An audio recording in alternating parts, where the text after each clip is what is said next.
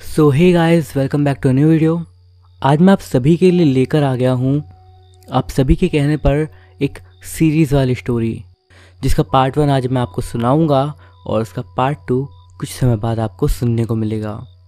ये स्टोरी में भेजी है ऋतिका जी ने। आइए, बिना समय बर्बाद करे सीधा कहानी की ओर बढ़ते हैं। परदेव, इतनी रात को गाड़ी से जाना हम सुबह भी तो जा सकते हैं ना। मुझे कुछ ठीक नहीं लग रहा। प्रणव ने चिंता जताते हुए कहा, तू परेशान मत हो, सब ठीक होगा। और यहाँ से सक्षम का घर कितना दूर है? बस दो घंटे की तो बात है। अब उसने बुलाया है और वो काफ़ी परेशान भी लग रहा था फ़ोन पर। तूने सुना ना उसको?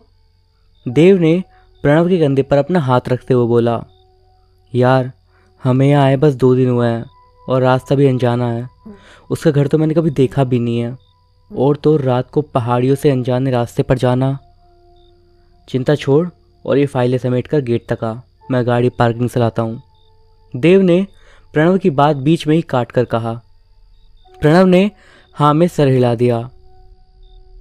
देव और प्रणव फिरोजाबाद के रहने वाले दो नौजवान थे। दोनों की उम्र लगभग तेईस चौबीस साल की रही होगी। कॉलेज में साथ थे और अब नौकरी भी एक ही कंपनी में मिली थी। पर अभी कुछ रोज़ पहले ही दोनों का ट्रांसफ़र उत्तराखंड के किसी शहर में हुआ था। दो दिन पहले ही वो दोनों यहाँ पर आए हैं। कंपनी ने ही उनको रहने की व्यवस्था करवा दी है। सक्षम भी इन्हीं का क्लासमेट था कॉलेज में। हाँ ज़्यादा दोस्ती नहीं थी, पर अच्छी साझेदारी हुआ करती थी तीनों की। दो साल पहले जब कॉलेज छूटा तो सक्षम के रास्ते इनसे अलग हो चले, क्योंकि सक्षम इतना खास दोस्त नहीं था इनका। देव मनमोजी और अड़ेल किस्म का था, पर प्रणव इसके बिल्कुल उल्टा था। वो समझदार और सजग और शांत किस्म का लड़का था। दोनों की दोस्ती का बैलेंस शायद इसीलिए था कि एक मनमोजी और दूसरा समझदार। साथ ही प्रणव को पूर्वाभास का तोहफा जन्म से मिला था, जब वो सात साल का था। और उसके पापा काम से बाहर गए थे तो उन्हें रात को आने में देर हुई। प्रणव के मन में शाम से ही हलचल मच गई थी। माँ ने उसे शांत करने को जल्दी ही सुला दिया, मगर अचानक ही प्रणव बेचैनी से उठकर फ़ोन की तरफ़ भागा। प्रणव की माँ हड़बड़ाहट से उसके पीछे दौड़ी। हेलो हेलो पापा। प्रणव की साँसें तेज और हाथों में कपकपी थी। रास्ते में जो पुल आता है उसको पार ना करके जो पास का गाँव है उससे आना। प्लीज़ आपको मेरी कसम है। इतना कहकर उसने फ़ोन काट दिया। वो सर झुकाए, टेबल का सहारा लिए अभी भी अपनी सांसों को नियंत्रित करने की कोशिश कर रहा था। पिता से आने थे और बेटे की बात मानकर दूसरे रास्ते से घर आ गए और अगले दिन अखबार में आया कि शहर जाने वाला पुल कल अकस्मात रात को गिर गया। पर शुक्र की बात थी कि जिस समय पुल गिरा, तब उस पर से कोई वाहन गुजर नहीं रहा था। तो ऐसे उसने अपने पिता के साथ होने वाली दुर्घटना को टाल दिया। ये पहली बार था कि उसको अपने पूर्वाभास के बारे में ज्ञान हुआ। इसके बाद कुछ छोटे मोटे एहसास हुए, पर उतने तेज नहीं। आज फिर उसका मन विस्मित हो उठा। व्याकुलता और बेचैनी से नाक कान गर्म से हो रहे थे। वो कांपते हाथों से फाइलें रख रहा था। एक नज़र पूरे ऑफ़िस में घुमाई तो देखा सब जा चुके थे और घड़ी में साढ़े ग्यारह बज रहे थे। घड़ी की आवाज़ ने पसरे हुए सन्नाटे में हल्का सा शोर कर रखा था। प्रणव मन ही मन बातों का हिसाब लगाने में व्यस्त था और हाथ फाइलें लगाने में। कमाल की बात थी, जिस सक्षम से दो सालों में बात नहीं हुई, आज अचानक उसने हमें कैसे याद करा? और तो और आखिरी बार जब उससे बात हुई थी तब हम फिरोज़ाबाद में ही थे। तो उसको कैसे पता चला कि हम उसी के इलाके के पास में हैं? हमने तो नहीं बताया और ना ही कहीं पर सोशल मीडिया पर कोई अपडेट डाला। और अगर वो किसी मुसीबत में है तो उसको तो किसी और को बुलाना चाहिए, जो उसका दोस्त हो या फिर कोई करीबी। कॉलेज में भी हमारी दोस्ती कोई खास नहीं थी। खिड़कियों की खटखटाहट से प्रणव की मुद्रा टूटी। देखा तो तेज़ हवा के कारण उसके कैबिन की खिड़कियाँ खुल गई थी। बंद करने गया तो देखा बारिश का मौसम बाहर बन रहा था। उफ, ये बिन मौसम बरसात भी ना। कहते हुए प्रणव ने खिड़कियों की चटकनी बंद कर दी और उसने अपना फ़ोन और बैग उठाया और चार्जर उठाना भूल गया। गाना गुनगुनाते हुए देव पार्किंग तक पहुँचा। पार्किंग बिल्कुल खाली थी और बस सरसराती टहनियों और पत्तियों की आवाज़ आ रही थी। देव ने गार्ड को आवाज़ लगाई। बलराम, कहाँ भाई? किसी ने जवाब नहीं दिया। अजीब है। अचानक से कहाँ चला गया? देव ने ठंडी आह भरते हुए कहा। वो गाड़ी गेट तक ले गया, जहाँ प्रणव उसका इंतज़ार कर रहा था। चलें, देव ने कहा। प्रणव ने गाड़ी का दरवाज़ा खोला और बैठ गया, और दोनों ही ऑफ़िस से निकल गए। आजकल काम बहुत बढ़ गया है। थकान भी कितने हो जाते हैं ना? प्रणव ने कहा हाँ सो तो है। अब रोज़ इसी वक्त घर जाना होगा। देव ने जवाब दिया, प्रणव, एक बात बता, क्या तुझे रात को सफ़र करने से डर लगता है? देव ने हँसते हुए पूछा, अरे नहीं, बस यूँ ही। रात का समय है। पता नहीं क्या अजीब सा हो रहा है। जब से सक्षम के फ़ोन की घंटी बजी है, तब से मन कुछ ठीक नहीं। प्रणव ने धीमी आवाज़ में जवाब दिया अच्छा ऐसा क्यों भला? देव ने पूछा, यार, तुझे कुछ अजीब नहीं लग रहा कि ऐसे अचानक सक्षम का फ़ोन आया और वो भी इतनी रात को? और उसे कैसे पता चला कि हम यहाँ इस जगह हैं? हमारा तो कोई कॉमन फ्रेंड भी नहीं है, जिसने उसको इस बात की जानकारी दी हो। और उस हादसे के बाद तो सक्षम से हमारी खास बात भी नहीं होती थी कॉलेज में। तो जब उसको कोई परेशानी है तो वो किसी और को बुलाता ना। हमें क्यों बुला रहा है? उसे किसी ऐसे को बुलाना चाहिए था, जो उसका दोस्त हो। हमें ही क्यों, प्रणव? हमें ही क्यों? प्रणव यूँ पर ज़ोर देकर बोला। प्रणव की ये बातें सुनकर तो अब देव को भी ये बातें खटकी। हम्म अजीब तो है, पर हो सकता है किसी ने बताया हो, या उसे पता चल गया हो। कुछ भी हो सकता है। पर अब उसने मदद के लिए बुलाया है तो जाकर देख आते हैं। क्या पता पुराना कुछ बोझ हल्का हो जाए? देव बोल ही रहा था कि अचानक उसने बहुत तेज ब्रेक लगाए, जिससे टायरों का निशान सड़क पर बन गया था। इतना बड़ा गड्ढा? प्रणव के मुँह से निकला। हाँ। सुबह तक तो ये सड़क बिल्कुल ठीक थी।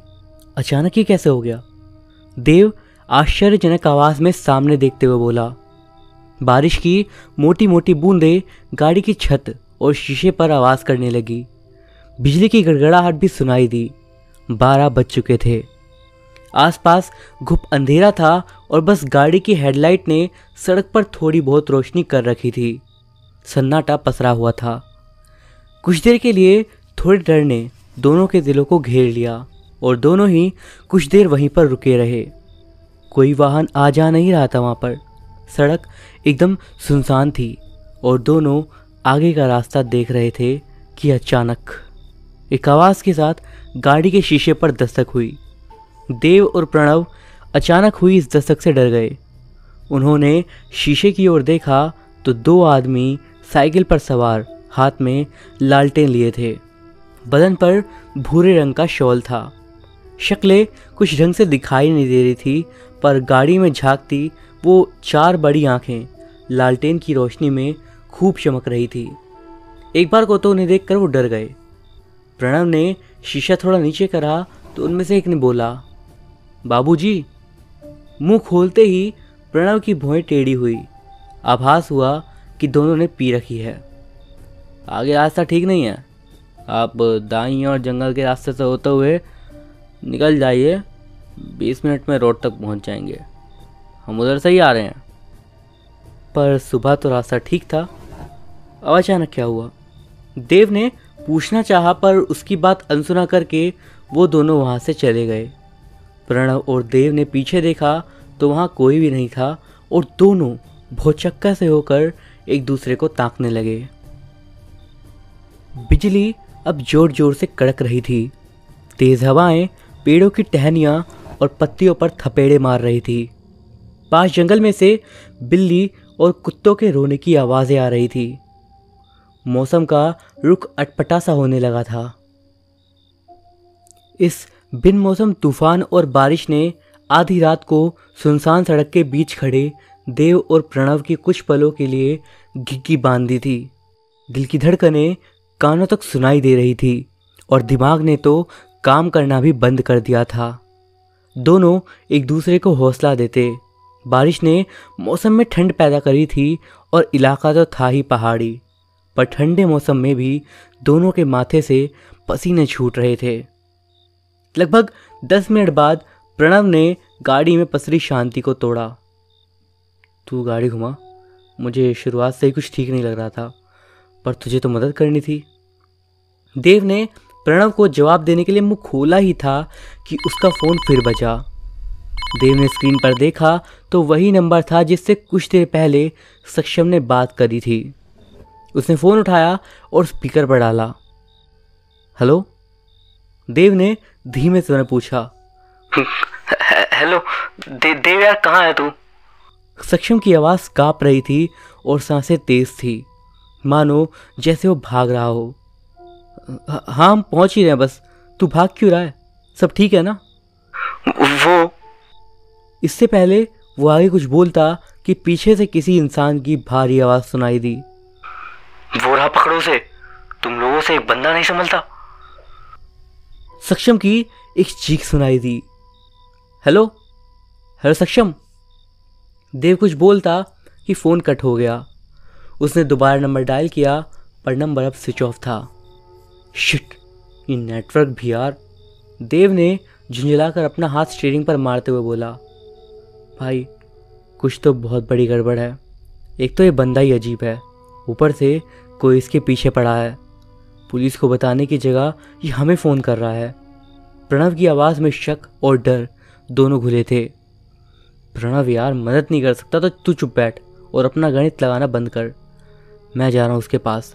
तुझे नहीं जाना तो अभी उतर जा। देव गुस्से में बोला, ठीक है, चल, अब गाड़ी तो स्टार्ट कर। प्रणव बोला देव गाड़ी स्टार्ट करने लगा बट गाड़ी स्टार्ट हुई ही नहीं। कुछ देर तक चाबी घुमाई बट सफलता नहीं मिली। अरे यार, इसको भी अभी रंग दिखाने थे? देव झुंझला कर बोला, तू रुक, मैं उतर कर देखता हूँ। प्रणव देव के कंधे पर हाथ रखकर बोला और गाड़ी से उतर गया। उसने अपने फ़ोन की टॉर्च जलाई। बारिश तेज थी। एक हाथ से खुद के सिर को ढककर वो आगे बढ़ा। उसने बोनट खोलकर देखा तो सब कुछ ठीक था। कुछ एक दो पेज और वायर हिलाए उसने और फिर बोला, अब स्टार्ट कर। पर कुछ भी नहीं हुआ। बोनट बंद करके अब वो पीछे देखने गया तो फ़ोन की टॉर्च से देखा कि साइलेंसर में कांच के कुछ टुकड़े फंसे थे। उसने उन्हें धीरे से अपने रुमाल से बाहर निकाला और फेंक दिया और उसके बाद वो गाड़ी में आकर बैठ गया। वो पूरी तरह भीग चुका था। बैग में रखे हैंड टॉवल से खुद को पोछ रहा था और बोला, अब स्टार्ट हो जाएगी, चल. देव ने चाबी घुमाई और गाड़ी स्टार्ट हो गई। साइलेंसर में कांच की बोतल के टुकड़े फंसे थे। प्रणव बोला, पर अचानक आए कहाँ से? वो दो बंदे जो साइकिल पर थे, शायद उन्होंने कुछ किया होगा। वैसे भी पिए हुए थे साले। बोतल तो होगी ही। चोर चक्के भी हो सकते हैं। पक्का लूटने की फिराक में थे हमें। तू जल्दी चल इधर से और हाँ जंगल से नहीं, सीधा जाएँगे। क्या पता हमें लूटने की फिराक में और गुमराह कर रहे हो? प्रणव ने जल्दी जल्दी बोला, देव ने हाँ में सर हिलाया और गाड़ी बैक करके गड्ढे से बचाते हुए दोनों सीधे निकल गए। प्रणव ने फ़ोन में गूगल मैप लगाया था कि अचानक फ़ोन बंद हो गया। देखा तो बैटरी डेड। आज किसका मुँह देखकर निकले थे यार? प्रणव अफसोस करने लगा और वो बैग में चार्जर ढूँढने लगा, बट उसे मिला ही नहीं। मिलता भी कैसे? वो तो ऑफ़िस में छूट गया था ना?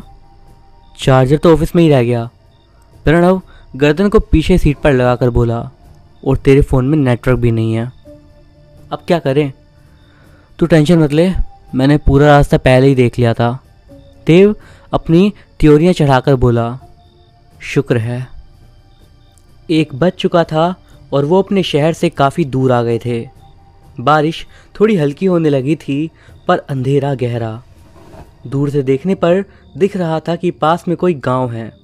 कुछ घरों की लाइटें झिलमिल झिलमिल जल रही थी।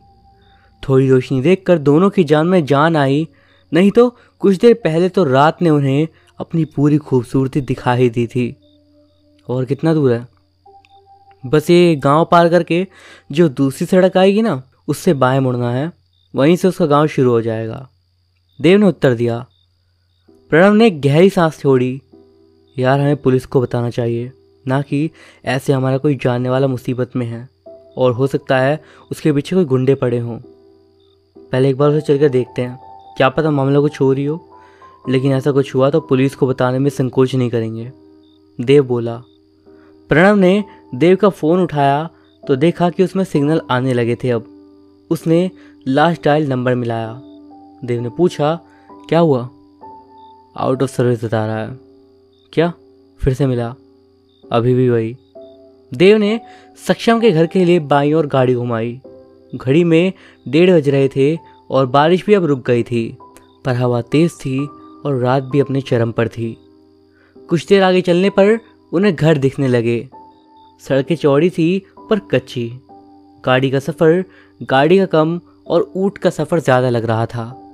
कुछ घर के आगे रुककर किसी से पूछने के लिए देव ने गाड़ी रोक दी।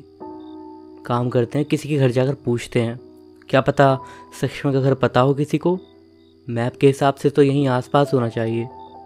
दोनों गाड़ी से उतरने को ही थे कि खिड़की पर दस्तक हुई। उन्होंने देखा तो दोनों की आँखें फटी की फटी रह गई और शीशे पर और कोई नहीं, बल्कि वही दो आदमी थे जो कुछ घंटे पहले उन्हें साइकिल पर मिले थे। देव ने शीशा उतारा तो उनमें से एक बोला, क्या बात है बाबूजी? इतनी रात गए यहाँ कहाँ घूम रहे हो? किसी को ढूंढत नज़र पड़ते हो? हम कुछ मदद कर दें? बताई, कौनों का पता चाहिए तो तुम दोनों हमारा पीछा कर रहे हो क्या? शक्ल से लगते भी चोरी हो और तुमने ही हमारी गाड़ी के साइलेंसर में बोतल फंसाई थी। देव गुस्साई आवाज़ें बोला हाँ बोरा गए बाबूजी? टिकाए हुए हो का? का उलझुल बोल रहे हो? देखा शंभू? वो अपने साथी की ओर देखकर बोला हमका भी लगता है राजन ये साहब या तो बुरा गए हैं या टिकाए हुए हैं। शंभू बोला, और दोनों ने ठहाका लगाया। अब देव का गुस्सा सातवें आसमान पर था। अबे साले, बुराया मैं नहीं हूँ, तू है। और अगर तूने सच नहीं बोला ना तो उतर कर इतना मारूँगा कि एक घंटे क्या तुम दोनों को अपनी पूरी ज़िंदगी भर का याद आ जाएगा। देव ऊँची आवाज़ में बोला, देखिए साहब, आप होंगे बड़े बाप की औलाद, पर इसका मतलब ये नहीं कि आप गरीब से बदतमीज़ी करें। हम बोले ना कि हमने आपको नहीं देखा, हम तो इसी गाँव के रहने वाले आदमी हैं। हमारी अम्मा को लेने शहर जा रहे हैं। परेशान दिखे तो पूछे, कौन है? आप हम पर ही गुर्रा रहे हैं। राजन तनकर बोला, देव और प्रणव गाड़ी से उतरे। और देव ने उतरते ही राजन का कॉलर पकड़ लिया। ज़्यादा शाना बन रहा है मेरे आगे। अभी एक मुक्के में तेरी सारी बत्तीसी बाहर निकाल दूँगा। साथ में तेरी जवान भी। डरा किसके रहे हो? हम डरता नहीं हूँ। राजन ने भी देव की गर्दन को दबोचा। प्रणव और शंभू उन दोनों को छुड़ाने में लगे थे। खूब हल्ला हुआ और इतने शोर में सब लोग जाग गए। और था भी तो गाँव ना? गाँव में लोग की नींद कच्ची होती है। आसपास के घरों से लोग अपने अपने हाथों में लाठियाँ लिए बाहर आए तो देखा दो आदमियों में झगड़ा हो रहा है और तू तू मैं भी खूब चल रही है। उनमें से एक आगे आया जो देखने में मुखिया लग रहा था। उसने दोनों को अलग करा। हटो छोड़ो। अरे राजन, शंभू, तुम दोनों अब तक यहाँ क्या घूम रहे हो? और ईसाब कौन है? काम आज रहा है। रात में हो हल्ला मचायो।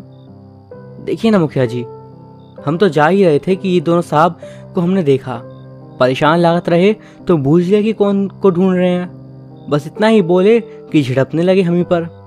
कहने लगे कि हम चोर हैं इका पीछा करते हैं। देखा है देखा है कर आगर आपने लगे। हम मना भी करे पर न जाने क्या हुआ इन्हें। उतरे और चढ़ गए हम पर। अब आप ही बताओ मुखिया जी, हम कुछ गलत करे का? राजन बोलते बोलते सुबकने लगा। ई का बात हुई साहब आप हमारे ही गाँव में आकर हमारे ही आदमी को मारते रहे। वो बेचारा तो आपकी मदद करना चाहता था। और रही बात इनकी तो एक घंटे पहले तो ये हमारे घर ही आए थे, हमसे साइकिल लेने। मुखिया देव से बोला, देव, अपने पक्ष की बात रखता, इससे पहले ही प्रणव बोल पड़ा। माफ़ करना, हमें नज़रों का धोखा हुआ होगा। इतना अंधेरा था ना, शायद गलत फहमी हो गई होगी। माफ़ करना हमें। उसने मुखिया और राजन दोनों से माफ़ी मांगी। देव कुछ बोलता कि प्रणव ने उसका हाथ पकड़कर उसे रोक लिया। कौन बात नहीं, आप माफ़ी मांग रहे हैं, ये कारण आपको छोड़ रहे हैं। और आप साहब, गुस्सा काबू में रखिए। मुखिया देव की ओर देखते हुए बोला, वैसे हम यहाँ किसी को ढूंढ रहे हैं, उसका घर नहीं मिल रहा। अगर आप बता दें तो बड़ी मेहरबानी होगी। हाँ बताइए। मुखिया बोला, सक्षम नाम का लड़का किधर रहता है? हमारी उम्र का है। बता सकते हैं कौन सा घर है उसका? मुखिया के माथे पर बल पड़ गए। वो सोचने लगा और कुछ देर सोचने के बाद बोला, हमारे ध्यान में तो ई नाम का कोनो लड़का नहीं आता। कोनो फ़ोटो या माँ बाप का नाम अगर पता है तो शायद कुछ पता निकले। ऐसा कैसे हो सकता है? हमें यहीं का पता बताया गया था। देव बोला, नहीं साहब, हम यहाँ बहुत सालों से रह रहे हैं। हमारी जानकारी में जो आदमी के बारे में आप पूछ रहे हैं, वो यहाँ नहीं रहता। मुखिया ने पूरा आश्वासन के साथ कहा, ठीक है, धन्यवाद, और आपको इतनी रात को परेशान करने के लिए भी माफ़ी। प्रणव ने हाथ जोड़कर मुखिया से कहा, और सब लोग वापस अपने घरों में चले गए। शंभू और राजन भी स्टेशन की ओर निकल गए। प्रणव ने देव का हाथ पकड़ा और उसे गाड़ी में ले गया। तूने मुझे कुछ बोलने क्यों नहीं दिया? मैं अपने तरीके सब पूछ लेता। देव गुस्से में बोला, तू पहले ही अपने हाथों से बहुत बोल चुका था। तुझे और बोलने देता तो? छोड़, सक्षम तो इधर नहीं रहता। अब? प्रणव बोला, पता नहीं, मुझे तो ये लोग कुछ ठीक नहीं लग रहे। देखा नहीं, सक्षम का नाम सुनते ही कैसे माथा ठहर गया था मुखिया का? देव बोला, थोड़ा आगे जाकर देखते हैं। क्या पता कुछ मिल जाए? सक्षम ने बोला था कि उसके घर के पास तालाब है, उसे ही ढूंढते हैं। प्रणव बोला, देव ने गाड़ी स्टार्ट करी और दोनों आगे बढ़ गए। टायरों के निशान कच्ची मिट्टी की सड़क पर बनने लगे और पिछले निशानों को मिटाने लगे। पिछले निशान, उल्टे पैरों के निशान। गाड़ी धीमी गति से आगे बढ़ रही थी। जब गाड़ी मुखिया जी के घर के आगे से गुजरी तो प्रणव की नज़रें मुखिया के घर की खिड़की में काली परछाई पर अटक गई। उसने पीछे मुड़कर देखना भी चाहा, परंतु वो काली परछाई अंधेरा घने होने के कारण कहीं छुप गई और कहीं विलुप्त हो गई। बादल आसमान में फिर से गरजे और बारिश का संकेत देने लगे। थोड़ी दूर चलने पर उन्हें बाईं ओर एक तालाब दिखाई दिया। वो रहा। देव ने उत्साह से कहा मानो उसे कोई खजाना मिल गया हो। हाँ और जो घर शायद उसके बगल में है, वही है सक्षम का घर। प्रणव ने आगे तक नज़रें दौड़ाते हुए कहा। उन्होंने घर के आगे गाड़ी रोक दी और दोनों ही गाड़ी से उतरे। बादलों की गड़गड़ाहट से आसमान की ओर उन्होंने देखा। मौसम कुछ अलग ही मिजाज में था। बारिश होने का संकेत तो था, परंतु अब तक बारिश शुरू नहीं हुई थी। हवाएँ तूफ़ान का रूप ले रही थी। मिट्टी उड़ रही थी और आँखों से टकरा रही थी। देव ने अपने फ़ोन की टॉर्च निकाली और बाहर से घर का परीक्षण किया। पास का तालाब अच्छे साफ़ पानी से भरा हुआ था। साथ में लगे पेड़ पौधे भी अच्छे खासे थे। शायद वहीं पास में कुछ झूले भी टंगे हुए थे। शायद दिन में बच्चे वहाँ आकर खेलते होंगे। पर कुछ ज़्यादा बड़ा तो था नहीं, पर जगह काफ़ी थी। दो मंजिला घर पुराने तरीके का बना हुआ। आगे बड़ा आँगन दिख रहा था, जहाँ कई सारे गमले दिख रहे थे। साफ़ तो नहीं, पर पता चल रहा था कि गमले ही हैं। दरवाजे के बाईं ओर आँगन में एक बड़ा सा नीम का पेड़ भी लगा हुआ था। सामने ही नेम प्लेट लगी थी, कमल जोशी। कमल जोशी। देव ने हैरानी से कहा हाँ सक्षम का पूरा नाम तो सक्षम जोशी ही है ना? हो सकता है उसके पापा या दादा का नाम हो ये। प्रणव ने जवाब दिया। चल अंदर चलते हैं। देव ने वो लोहे का दरवाज़ा खोलते हुए बोला। प्रणव उसके साथ चल दिया। फ़ोन की रोशनी से दिख रहा था कि आँगन में अच्छी फुलवारी करी गई थी। ज़मीन भी पक्की थी। आँगन पार करके दो छोटे जीने थे, जिनके ऊपर बड़े बड़े मोटे थंबले थे, सफ़ेद रंग के। सामने एक लकड़ी का दरवाज़ा था, जिसके आगे विंड चाइम लगा था। और हवा के कारण आवाज़ कर रहा था। उन्होंने दरवाज़ा खटखटाने की चेष्टा करी, परंतु थोड़े ही ज़ोर पर वो अपने आप ही खुलता चला गया। अंदर थोड़ा सा गए तो देखा कि कहीं कहीं लालटेन और मोमबत्तियाँ जल रही थी। थोड़ी रोशनी थी, जिससे अंदर जाने का रास्ता दिखाई पड़ रहा था। सक्षम? सक्षम। देव और प्रणव धीरे धीरे बोलकर अंदर जाने लगे। पर कोई जवाब नहीं आया।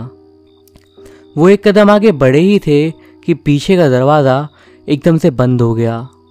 दोनों चौक कर पीछे पलटे तो दरवाजे की तरफ़ भागे और उसे खोलने की कोशिश करने लगे।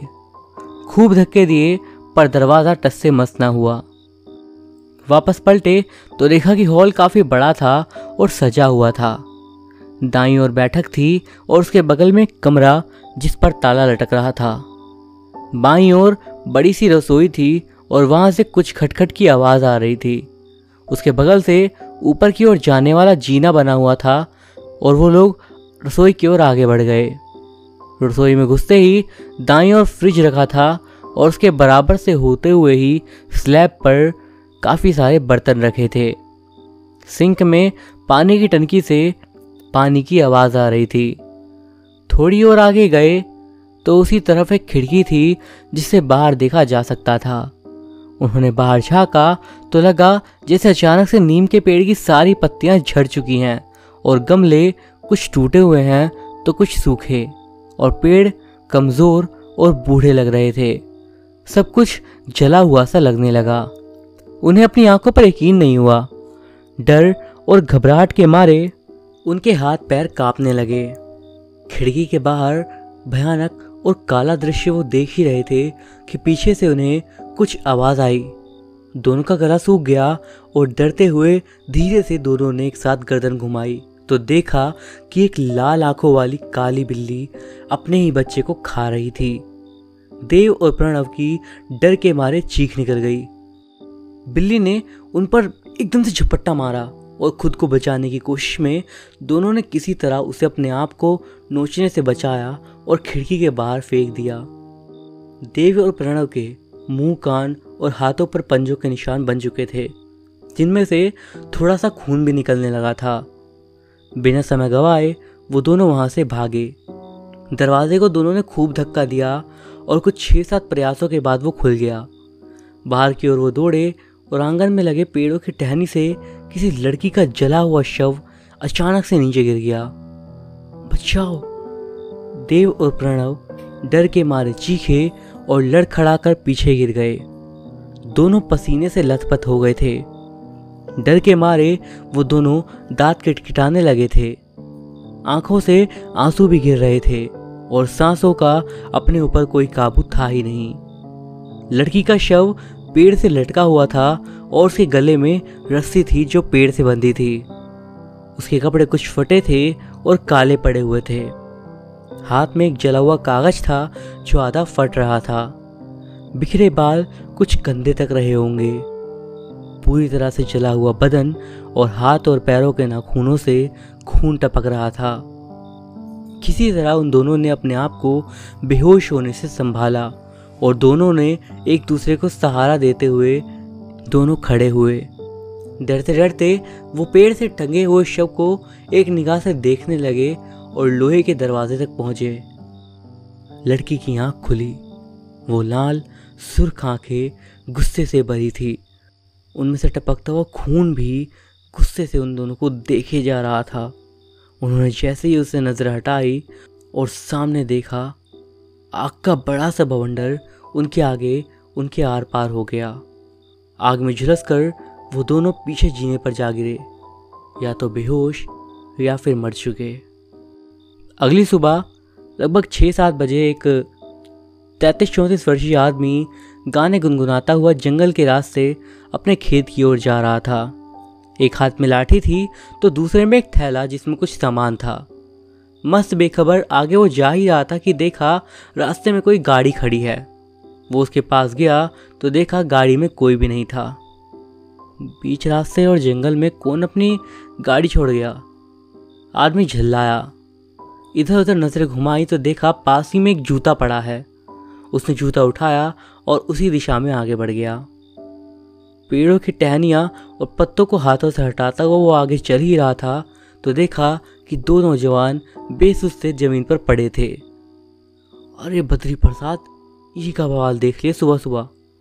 बद्री प्रसाद नीचे बैठा और अपने सिर में हाथ मारते हुए बोला, उसने तुरंत अपनी जेब से छोटा सा मोबाइल निकाला और नंबर मिलाया। सौ। तो दोस्तों, ये था इस कहानी का पार्ट वन। आपको यहाँ तक की कहानी कैसे लगी, मुझे कमेंट्स के ज़रिए ज़रूर बताइएगा। क्या लगता है आपको कि यहाँ पर आखिर क्या हो रहा है? अपने विचार कमेंट में मुझे ज़रूर बताइएगा। मैं आपसे मिलता हूँ इस कहानी के अगले भाग में। तब तक के लिए बाय।